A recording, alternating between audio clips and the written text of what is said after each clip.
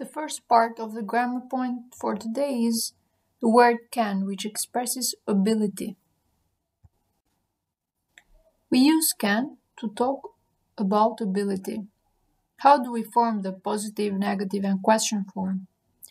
Positive form is the same for all the subjects. I can swim. You can swim. He can swim. She can swim. It can swim. We can swim. They can swim. Nothing changes here. In the negative, what we do is just add not after can.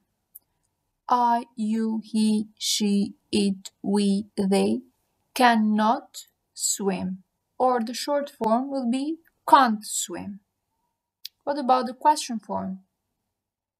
We put can in the beginning. Can I swim? Can you swim? Can she swim? Can he swim? Can we swim? Can they swim? The answer will be yes, I can. No, I can't.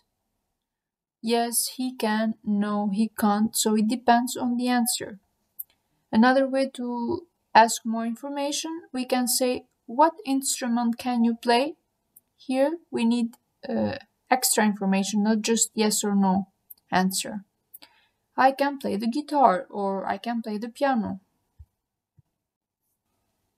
If we look at this picture, Dad is reading carefully. So, how is Dad reading? Dad is reading carefully.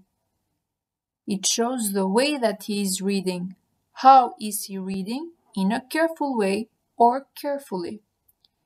So, time to explain the adverbs now. We use adverbs to describe how you do something. Example, he reads carefully. She plays beautifully.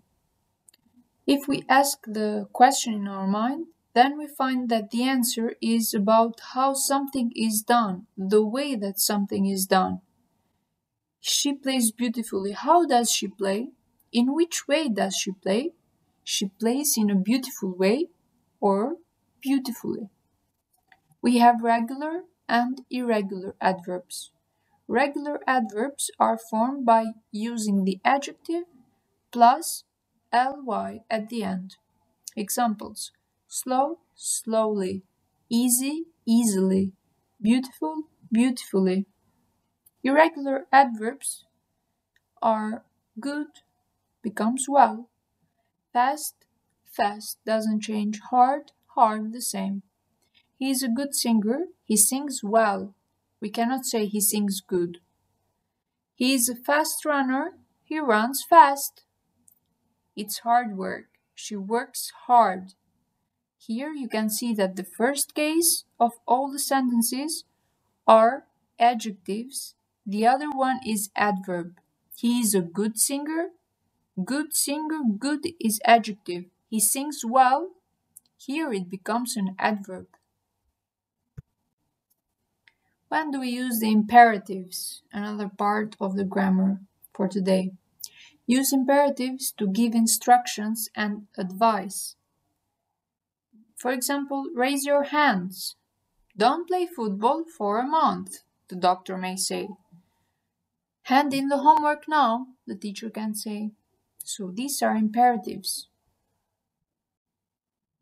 If we add please uh, while saying an imperative, uh, then it makes the sentence more polite.